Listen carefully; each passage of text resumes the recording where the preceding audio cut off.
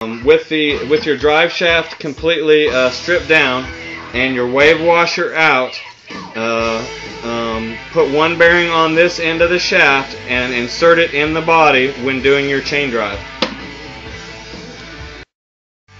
Now with the shaft installed with the wave washer out so that there's no plunging motion, um, we've just laid the chain over the shaft in there. We've already got our wheel sprocket installed down here uh, so we know where our center point is.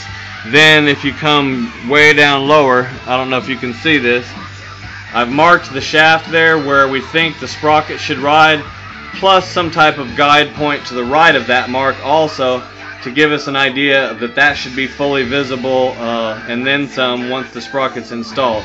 So what we're talking about is positioning left to right on the uh, shaft because your new sprocket is uh, um, bored to the diameter of the shaft on the sprocket side so there, there's no free play but then it's counterbored on the other side uh, to allow it to hover the wider diameter of the shaft.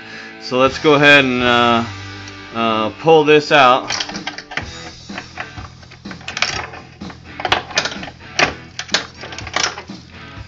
And now we've got our shaft out with our marks on it. So the next step we're going to do is to install our sprocket to the shaft, which these are a snug slip fit. Uh, so we're going to have to kind of beat this in, but what we're going to be looking for is for the sprocket to Uh, line I up keep a about spare there. nut uh, around for uh, uh, so when I beat on the end of a shaft, uh, I don't uh, to drive a sprocket on or off that I don't damage the sh- uh, shaft itself. Uh, you probably want to use a bench vise or or some such thing to uh, to do this procedure. But basically, we're going to try to drive the shaft down into the sprocket uh, to the desired depth, and then put it back up in the body and check it to make sure we've done good.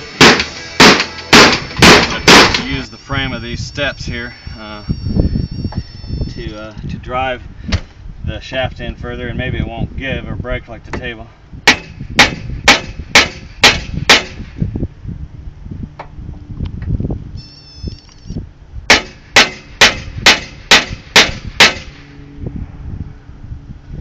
Guess I might note that Scootr.com is not responsible for damages to your sprocket from this method or your shaft. Just completely at your own discretion. You may have a try to have a local shop uh, assemble this for you. Uh, uh, but the only thing is uh, having the positioning right. Or you might want to let a mechanic shop do the install. I think we still got a ways to go, but it is moving. We've driven it on, which what looks like a little bit too far, but according to our marks, it might could still go on just a hair, but we're going to go ahead and check it for alignment because we may have already achieved what we're looking for.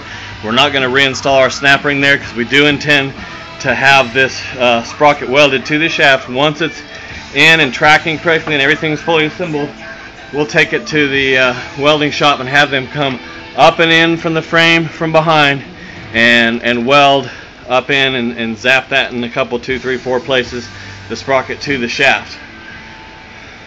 So uh, once we once you've got that in position, what you want to do is to put your wave washer back in if it's this kind of model that you have that, and then put your bearing on.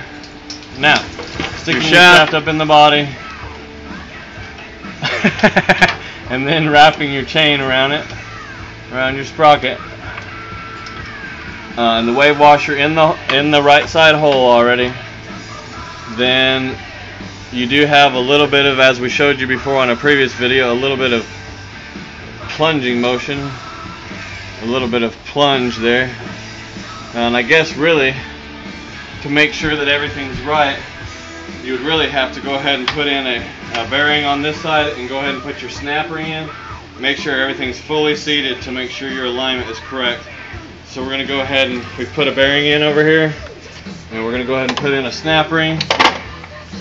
Uh, just keep tapping them until they snap. This is how I put them back in. I don't really put them back in with snap ring pliers. Just kind of get a screwdriver or an Allen wrench or something. Keep tapping them in until you know. that it's clicked in and it looks like both legs kicked down and our snap ring is fully installed. So let's go back to our sprocket over here. And so with the shaft fully installed, then lay your chain over your sprocket and let me get behind it and look one time pull the chain tight. I actually like it right there. I think, you know, we didn't move it quite as far as our marking said. And let's check one more time with the light here. And that's about as straight as you're going to get.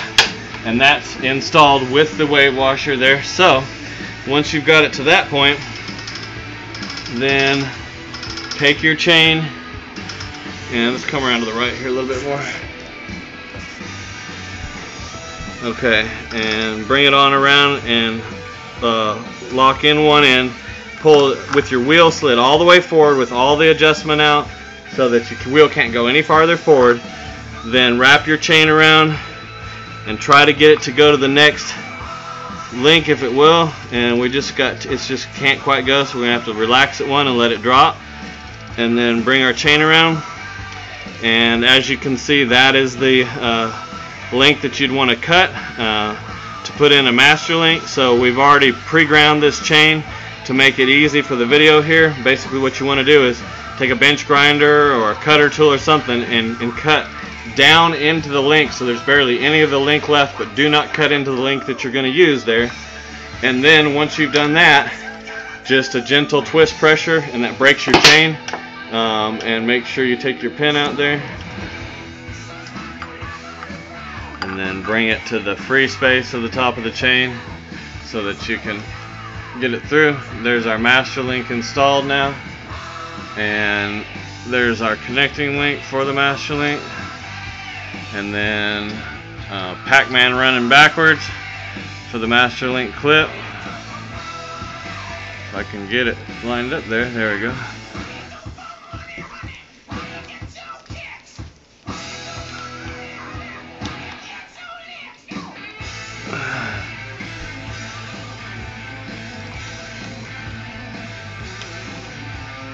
Sometimes if you kink the chain slightly sideways like that, that'll help you get it. Okay, there, there's our master link installed.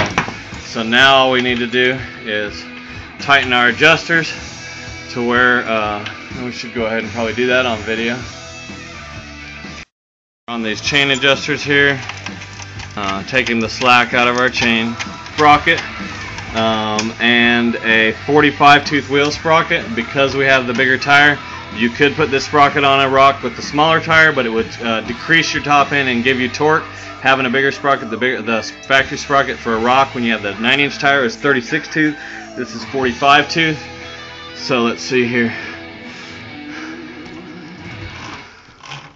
You check it in a couple different places because uh, it may be tighter in one spot than another slightly.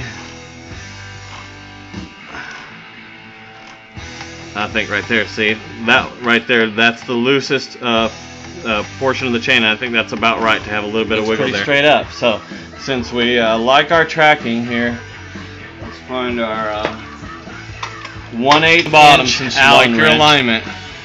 Come up in from the bottom, and you can take these screws back out later after you've had it welded just to keep them from spitting out at will.